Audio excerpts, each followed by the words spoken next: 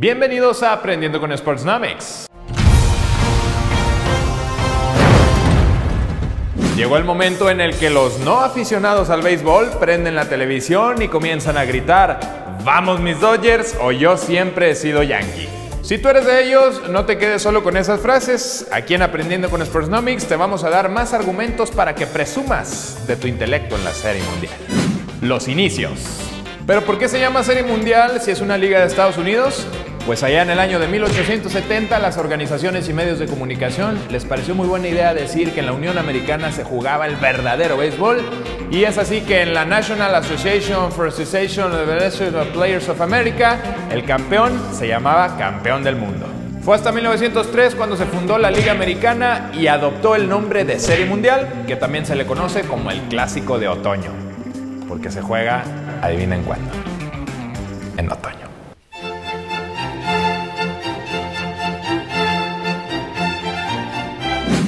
La historia.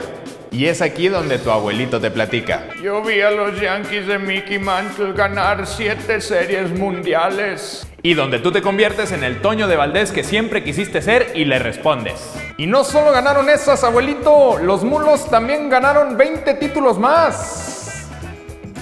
¡Qué buen corte de cabello traigo! ¡Saludos, Pepillo! Pero para llegar a ese nivel de conocimiento tienes que saber el dato básico.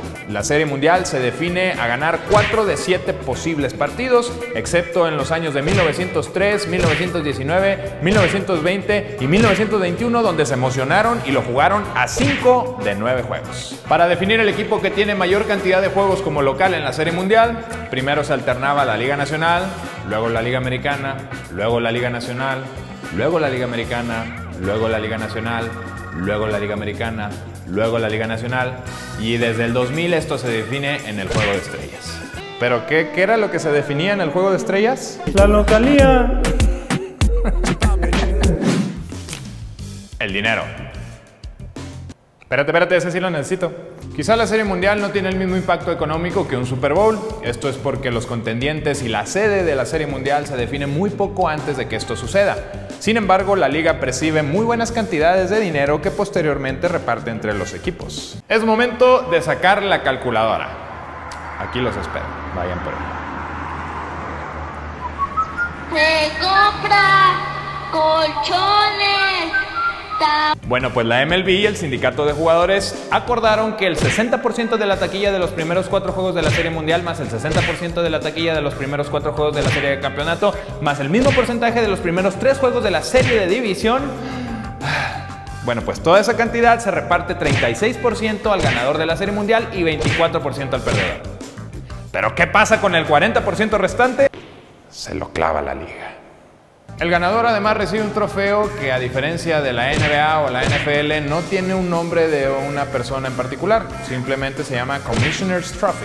Además el equipo se lleva los famosos y codiciados anillos de campeonato fabricados por Tiffany. Y no me refiero a la señora que te ayuda en tu casa, me refiero a Tiffany ⁇ Company, la marca de anillos y joyas. ¿Y el anillo para cuándo? Pues empapados los hemos dejado de todo el mundo de la pelota caliente. Ahora sí están listos para gritar, vengan mis astros de toda la vida. Nosotros nos vemos en un próximo episodio de Aprendiendo con Sportsomics. Que ganen los Yankees. Adiós.